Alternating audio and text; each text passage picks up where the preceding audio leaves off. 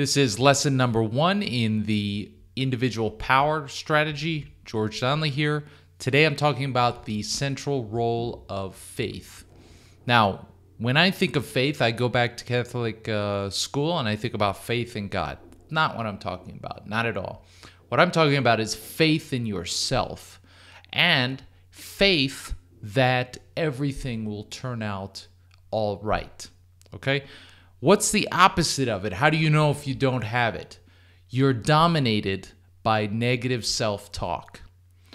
When you try to do something new, something that you want to do, something that you feel mm, is important to your future, the fear inevitably comes on, comes on for all of us, but you give into it and you don't do what you what you need to do, which could be uh, applying for a job, asking for a raise, trying to get on a new project, uh, pitching a, uh, freelance project, uh, speaking to a girl, speaking to a guy, uh, whatever it is that you feel is important for your future. But when you go to do it, you fall short, okay? Now, uh, libertarians were very rational people for the most part we go on um, evidence, fact, logic, argument, reason.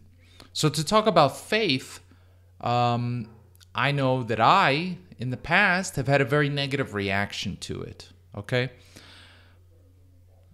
But the fact is that if you, you know, you can also call it believing in yourself, but that sounds trite the fact is, if you don't have faith, and if you approach everything in your life from a rational point of view, you will you will inevitably come up with a negative and skeptical point of view.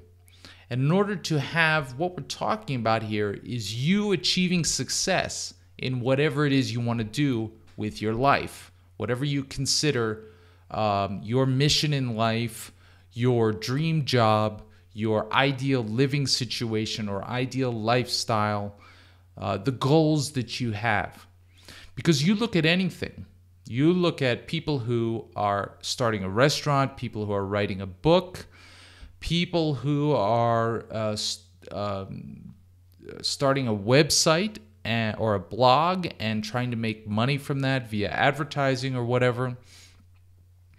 People, even people who start college or start high school, you look at the marriages, marriages too. You look at the statistics and you'll see most people trying to do these things fail. And then from a rational point of view, you'll say, well, I'll probably fail too. Okay? But uh, I'm going to challenge that rational point of view here for a second. The greatest determiner, determinant of your success in any endeavor, big or small, is your level of faith that you can do it.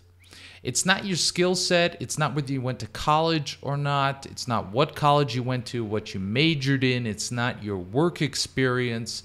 It's not your LinkedIn profile.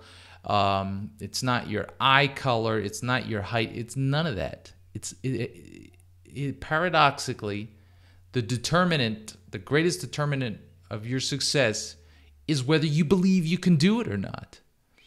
Now I've proven this over and over again, and I have I've had uh, many different careers in my life. Um, I'll tell you about one situation. Uh, I was uh, teaching English in Japan, and the internet came along. I finally got an apartment. I got a place that I could get internet access, and I thought, this is my thing. I, I want to be in on this. And uh, I, I want to keep this story short, but uh, I studied history in college. Okay.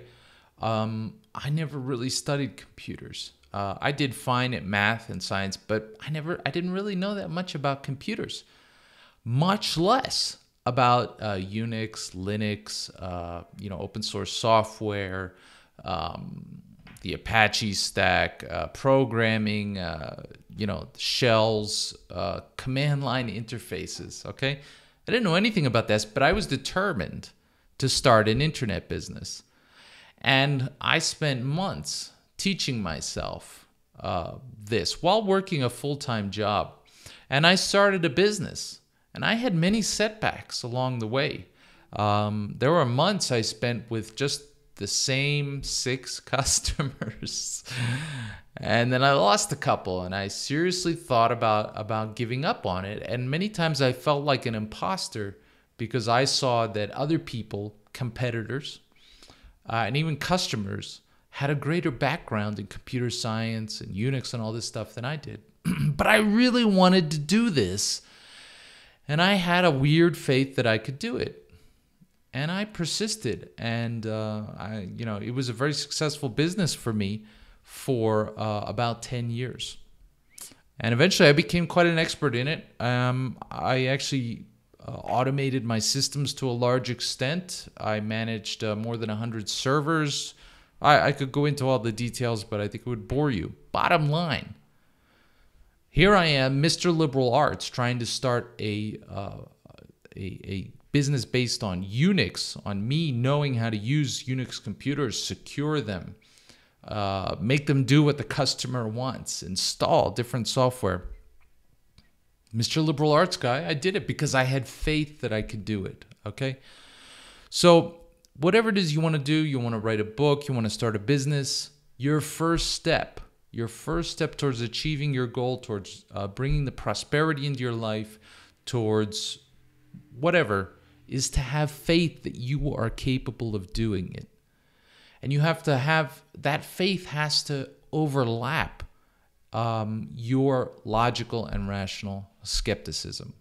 Okay? So, um, uh, this week, I would like you to imagine for just a second, as an exercise to apply this lesson, that you had have complete faith in your ideal path. I, I assume here you have an ideal path, you or a goal that you want to achieve, a mission that you feel that you have in life, something like that. If not, we'll work on that in a future lesson. But I want to imagine for, for a second that you had complete faith, that you were com- felt completely qualified, 100% prepared for this goal, ideal path, whatever, whatever it is you want. Just, just imagine yourself, you know, put yourself into an alternate universe or an alternate future uh, where you are fully qualified and capable, in your opinion.